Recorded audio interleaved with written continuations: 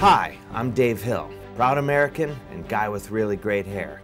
It's 2012 and another election year is upon us. Soon we will decide who will be leading this great nation for the next four years until we have to do this all over again. Obama, Romney, some other guy. The choice is yours, and more importantly, mine. I'm here in our nation's capital, Washington, D.C., to meet the number one guy, the main man, the president of the Democrats. Well, I thought there'd be more security than this.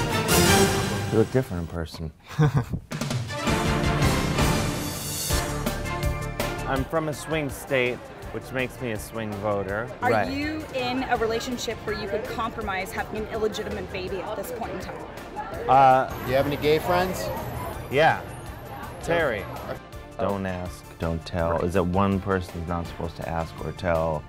You don't ask, I don't tell. I don't ask you, and if I did, don't say anything. Exactly. I mean, that, that's basically the premise. 90% of statistics are made up. That in itself is a statistic, though. Well, I know, and it's a made up one. Why isn't it that Bill Clinton can't just be like president again? Yeah, the Constitution. Bill Clinton has a weak constitution. As a native of Ohio, I've got swing voting in my blood like a mother.